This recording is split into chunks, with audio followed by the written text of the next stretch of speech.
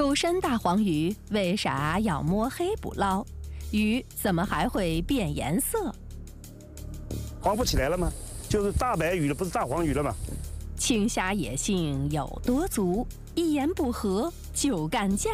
虾跟虾之间互相用这个大钳子夹在一起，谁也不服谁。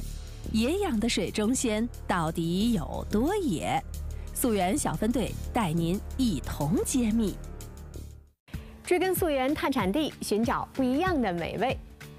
我们每天啊都要面对各种各样不同的食材，但是您真的了解它吗？我们今天谁知盘中餐要去溯源的是什么呢？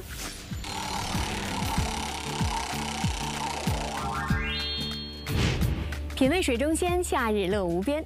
今天要给大家介绍两种野性十足的水中鲜哈。大黄鱼因为味道鲜美而深受食客喜爱。但是野生大黄鱼啊，价格高昂，让大多数人望而却步。不过呢，浙江舟山的野养大黄鱼，不仅味道可以跟野生的相媲美，价钱也是更加亲民。那野养大黄鱼到底是怎么回事呢？另一种鲜味啊，来自小而美的青虾，但是江苏省溧阳市的青虾却以个儿大为卖点，而且是养在山上面，野性十足。这样的青虾到底是什么来头呢？让我们跟着探寻小分队一起去溯源一下吧。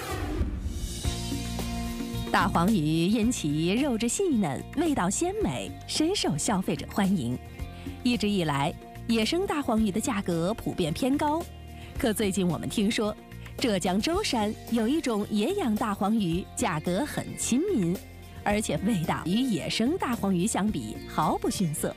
那这野养的大黄鱼究竟是什么来头呢？让我们跟着溯源小分队前往浙江舟山一探究竟。夜捕大黄鱼为啥要遮住灯光？海上惊现神秘叫声。舟山渔场出产的海鲜十分丰富，是名副其实的东海渔仓，而其中的东极岛。就是野养大黄鱼的主要产地之一。溯源小分队到了舟山，就直奔东极岛，寻找野养大黄鱼的秘密。可到了东极岛，海面上一片平静，也没什么渔船，完全没有捕鱼的迹象。我们找到了负责人乐丽萍，询问如何找到野养的大黄鱼。还早。那个太阳还没下山，再过等太阳下山吧，好吧？为什么要太阳下山之后才能看见大黄鱼呢？它们究竟在哪儿呢？待到天色渐暗，只见远处开来了渔船。在海上经历了几个小时的路程，我们终于到达了目的地。此时我们发现。离我们不远的海面上漂浮着许多圆形的围栏，上边好像还有人在周围走来走去。我们要找的野养大黄鱼会不会就在这儿呢？船在围栏边上停下来，这会儿乐大哥他们的节奏也快了起来。浪浪就越来越大了，好吧？我们抓紧先捕鱼，把鱼捕捕上来吧，好吧？随着时间的推移，太阳落下。天色也越来越暗，于是我们拿出灯棒，可是这一举动却让乐大哥变得不那么淡定了。哎，不行不行，都都关灯关灯关灯关灯，因为这会影响那个大黄鱼的那个品质的。这个呢要把它包上，因为包上以后呢，它的颜色就柔和了吧，对吧？它就不不像那个那个那个平常那那么刺眼了，对鱼的品质就没有大的影响了。这会儿海面上已经准备就绪，工人们准备拉网收鱼，今天的捕捞工作也正式开始。随着渔网聚拢，大黄鱼也慢慢浮出水面。就在这时，我们听到了一阵奇怪的声音。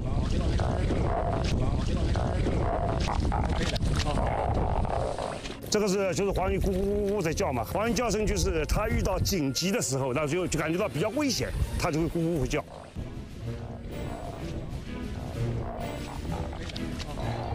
虽然是养殖的大黄鱼，但是听着叫声就已经让人觉得野性十足了。而且强有力的叫声也说明了大黄鱼品质高。就在我们以为工人们要起网收鱼时，他们却停了下来，这究竟是在干嘛呢？对，这个鱼比较娇贵，因为太娇贵。那我跟你说，因为大王拉的话，一下对他损伤很大。你不要捞太多啊，像这种啊，嗯，然后说那，哦，这样，这样，这来，哇哇，来。这样有有十来条鱼是吧？哦哦哦。哦，这样不会伤它的那个鱼鳞，对吧？因为鱼鳞啊、尾鳍啊各方面稍微稍微有有一点影响的话，它就要死掉了。大黄鱼十分娇气，基本离开海水就会死亡。所以为了保证大黄鱼的鲜活，只要捕捞开始，他们强调的就只有一件事儿。所以要快，就是要把这个时要把这个时间抢出来。我们发现，这边网兜捞起，船上已经准备好了装满冰和水的泡沫箱子，而工作人员拿起捞网，快速地将大黄鱼捞起，直接放入了泡沫箱中，而且还给大黄鱼套上了黑袋儿，盖上了箱盖儿。你看，它这个线条非常美，哦，就是那种细，哎呀，细条就像那个美女那个线身身材一样的，很纤细，非常苗非常苗条。这个尾鳍你看非常有力吧，嗯是吧？因为我们这里留级啊。没有有力的那个那个尾鳍啊，它就没法游啊，它对着水啊，一直，它才造成它的那个味味道与众不同，更有弹性。可大黄鱼为什么非得晚上捕？还有这么多奇怪的捕捞要求呢？因为晚上这个鱼捞上来以后，本身这个鱼已经是黄的，是吧？它那个拿上来以后，我们经过那个密闭空间，经过冰水浸泡三到四五个小时，那就出来以后，这个鱼就是黄的。它就自然发黄，白天捞的话，它就有这个区别，它马上回到白的白的颜色里。大黄鱼之所以身体金黄，是因为它们有着金色皮腺体，能够分泌金黄色素，让鱼的腹部到体表都分布着一层金色，而且这抹金色也是大黄鱼新鲜的一个重要标志。然而，这些金黄色素极易被紫外线或强光分解而褪色。因此，在白天的时候，大黄鱼看上去是银色的。为了保留住这份金灿灿的颜值，大黄鱼的捕捞必须要在夜间进行。天黑捕捞，这仅仅是大黄鱼保证品相的一种捕捞方式。为什么这里的大黄鱼被称为野养呢？乐大哥告诉我们，秘密就在这个大围栏中。经乐大哥介绍，原来这些围栏就是深海网箱，也被称为海洋牧场。因水深海水流动快，大黄鱼的活动频率也相对提升，水中的天然饵料也更为丰富。大黄鱼以采食从网眼中进来的天然饵料为生，基本上的生活环境与野生的大黄鱼没有区别，品质自然与野生大黄鱼基本相似。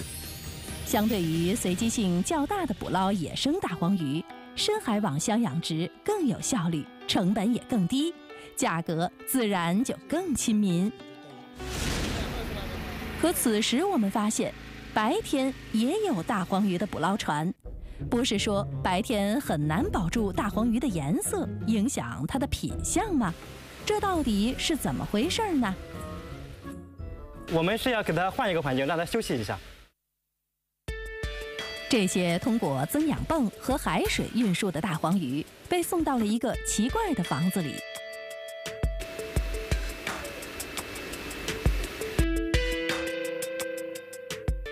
之前转运过程中要快要轻柔，现在我们从那个呃转运箱转移到这个带氧池里面，要让它慢下来，恢复一下体力。鱼在运输过程中像船呀会晃动，它可能也会晕船。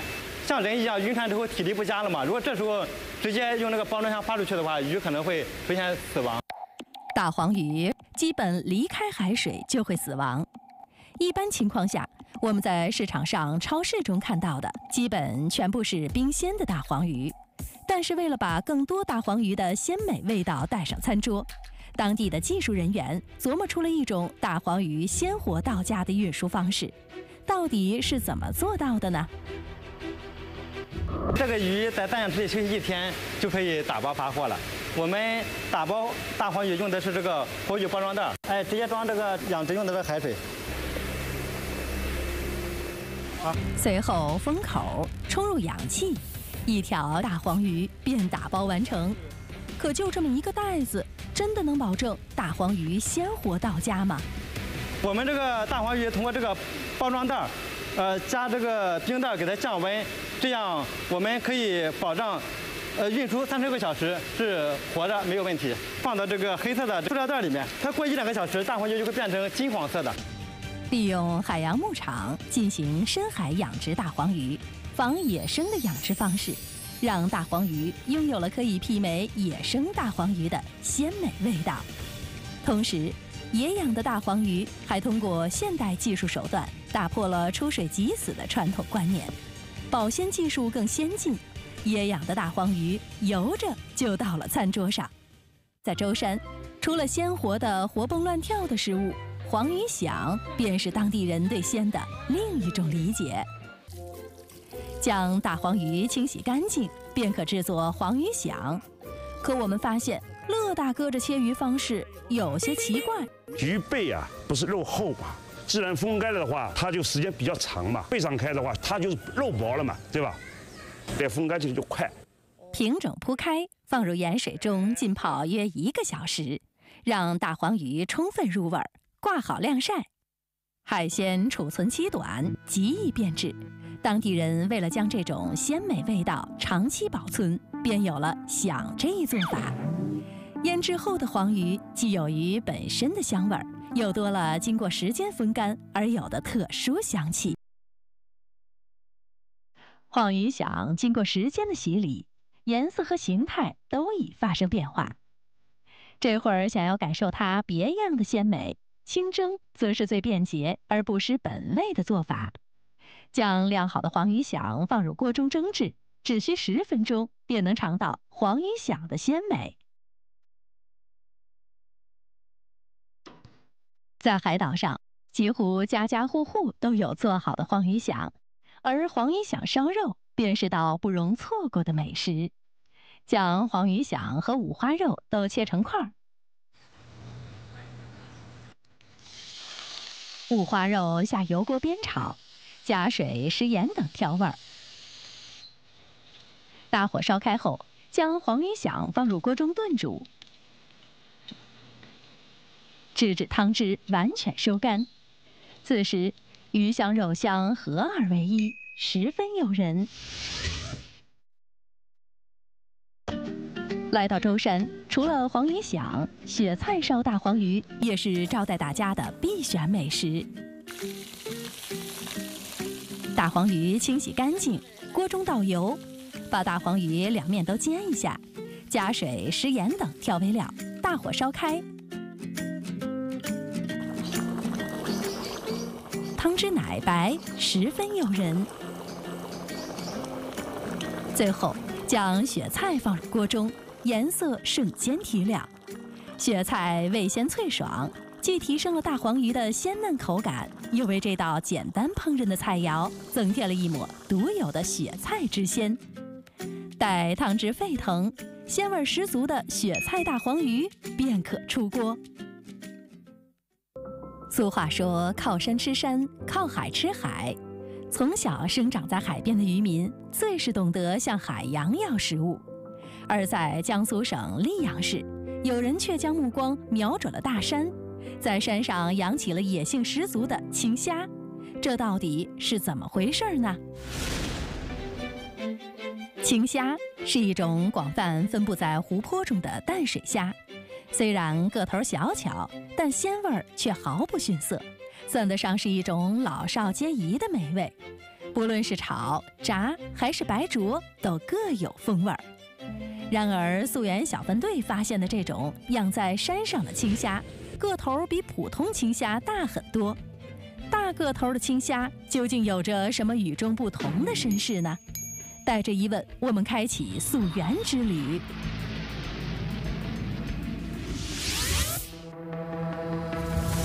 养虾为啥？要先种草。青虾为何？脾气大。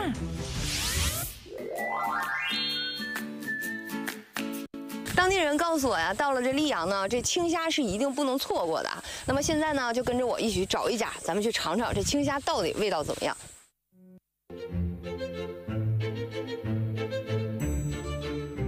哎你的青虾来了啊。哇，这就是咱这溧阳青虾哈。对对对，哦，这么大一盘，这是盐水的，盐水盐水哎，更加体现它的鲜味。来尝尝，看看这个虾。我们当地人吃这个虾有一经验，有一个小技巧，怎么虾怎么吃进去的，怎么吐出来，完整的壳。啊，这没听错吧？来，我吃一个给你看看。嗯。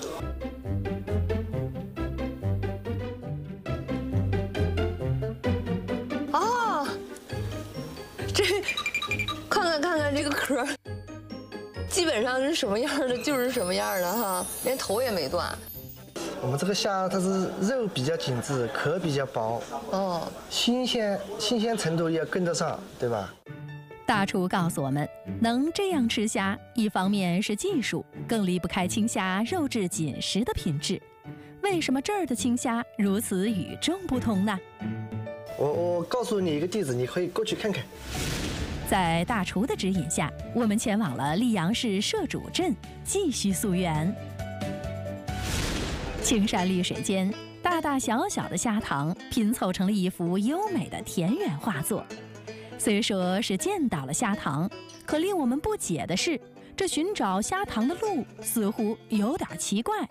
这地方好像是越来越高似的。对，这里都是明显的丘陵山区，都是丘陵山区开出来的虾塘，所以你看它的那个层次比较明显，对吧？丘陵山区的土质沙性大，淤泥少，微量元素、矿物质含量比较高，而水源要么从水库引过来，要么是降雨积蓄的，污染少，条件便利，充分利用开发当地的自然条件进行养殖，让这里成了青虾野养的宝地。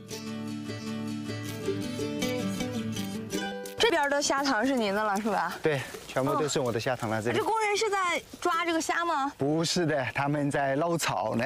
这虾塘里不抓虾，然后忙着捞草。你别看这个草对这个虾非常重要的。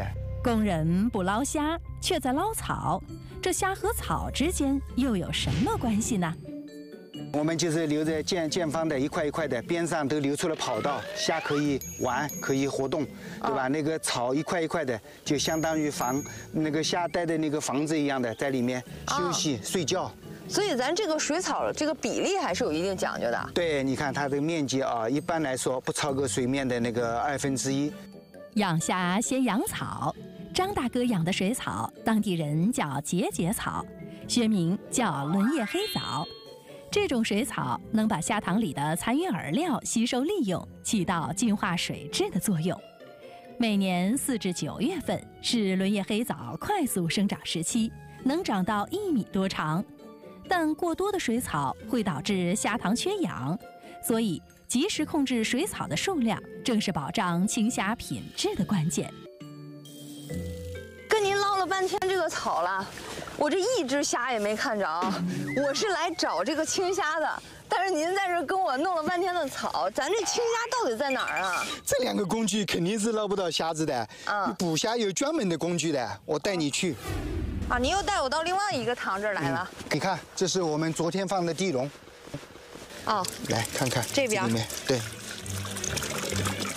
哦，哇，可以看到虾了。嗯哦，都在这儿呢。对，哇，这个也不少哎。对。哇，这么多！哇，感觉这个里边真的收获了不少哎。对，今天还可以。哇，快看快看，这满满一笼全都是虾，哇，而且个头都好大呀。对，嗯，活力很大。它这个虾，因为它比一般的河虾要大很多，对所以它这个劲儿也要大很多。对，哇，就是就是就是就是它们，看看看看，哇，你看到我们刚才都是那个跑道养虾，对吧？也里面搞草的时候，看这个虾跟虾之间互相用这个大钳子夹在一起，谁也不服谁那种感觉。对，这本身就是它战斗的武器。个头大、野性足，正是社主青虾的特点。有着两个大钳子的，正是雄虾，而相对文静、钳子较小的，就是雌虾。雄虾好斗，要是有另一只雄虾闯入了自己的地盘，争斗是避免不了的。正是这种好斗的特性，也让社主青虾充分锻炼了身体，肉质和鲜美程度自然也就更佳。这种野性十足的青虾，正是青虾太湖二号新品种。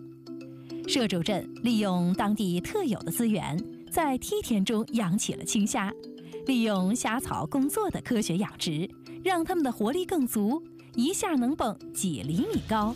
还挺特别的，看着啊。晶莹剔透，对吧？嗯呃比较粗壮，它那个背部那个虾线，你看到吧？基本上看不到的，对吧？你不用心，你看不出来的。好像没什么虾线对，这也是这个虾的一个特点，对呀。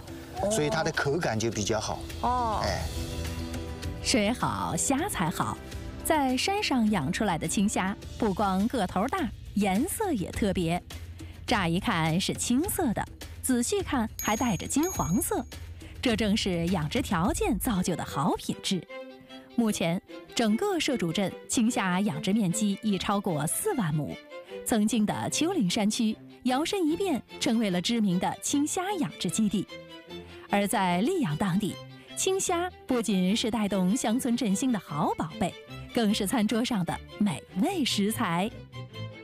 我今天就做这个凤尾虾啊，因为带着尾巴呢，颜色是特别的好看。做凤尾虾，我们要取这个虾仁，还有一个小妙招，快速的剥。虾是我提前都冰镇过的，右手大拇指、二拇指掐住虾头，左手掐住虾尾，然后用这个手挤对准第三个关节，轻轻的用力，然后挤压住出来，然后这个就直接出来了。这样就出来了是吧？这个要熟能生巧，要经常要来操作。学会了剥虾的诀窍，不一会儿的功夫，一份虾仁儿就准备好了。不同于热油烹炸，凉油慢炸可以更好的保留青虾鲜嫩的口感。待虾仁儿颜色变红，就可以出锅备用了。清爽的秋梨丁和蜜豆同时入锅，微微煮沸即可。这时再加入炸好的虾仁儿，不断翻炒。等锅中的汁水逐渐减少，盖大火猛炒。出锅前只加入少量的食盐足矣。简单的翻炒，无需过多的调味品，清清爽爽的鲜甜足以俘获味蕾。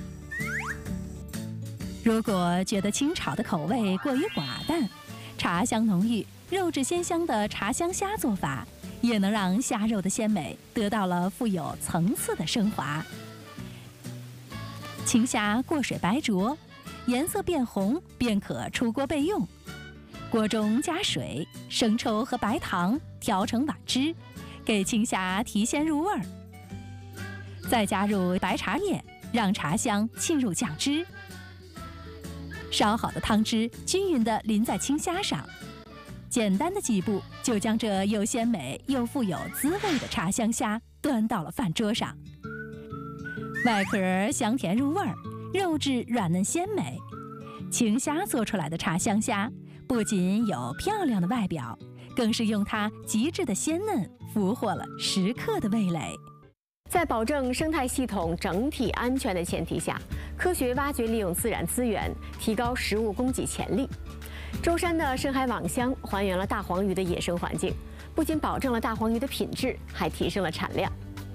溧阳市利用山间生态，为青虾提供了优质的水源和丰富的饵料，培育出了独特的大个头青虾。人们对餐桌多样化、个性化的需求，成为我们农业开拓者的源源动力。耕海牧渔，开发山林资源，绘就了人与自然和谐共生的美好画卷。好的，感谢您收看今天的水质盘中餐，追根溯源探产地，我们下期节目不见不散啦。